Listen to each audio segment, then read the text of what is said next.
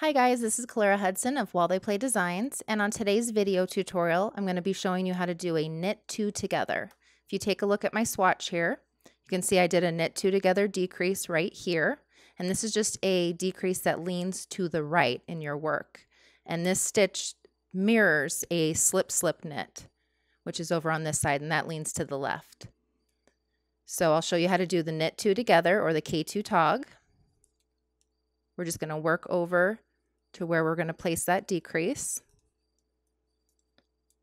So that, that decrease is going to go into these two stitches here on my left hand needle.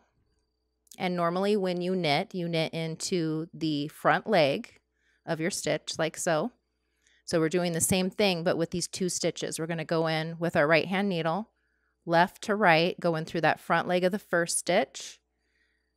Get this where you can see it front leg of the first stitch and then also go through the second stitch. So as you can see here, I only have those front legs on my needle. We did not go through the back legs or the back loops of the stitches. Okay, so after inserting through those two stitches, you just yarn over and pull through. So you can see here, we have that right lean in our decrease, and we've decreased two stitches to one. So normally in your pattern, if you don't want to interrupt your stitch count, you'll do a yarn over and it'll tell you whether to do that before or after your decrease. That just keeps it so that your stitch count is the same.